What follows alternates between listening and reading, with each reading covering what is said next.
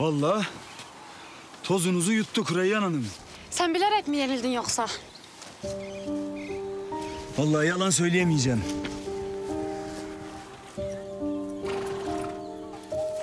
Bileğinin hakkıyla kazandın karıcığım.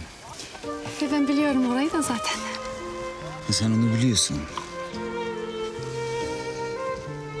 Peki benim gözümden nasıl göründüğünü biliyor musun?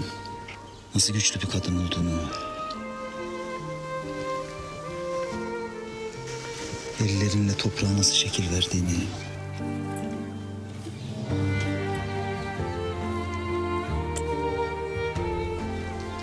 Her gülüşünle güneş gibi içimi aydınlattığını biliyor musun?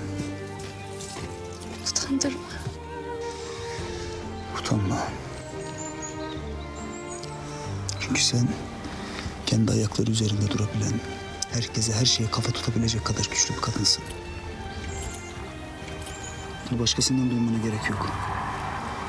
Aynaya her baktığında göreceğin kadın bu.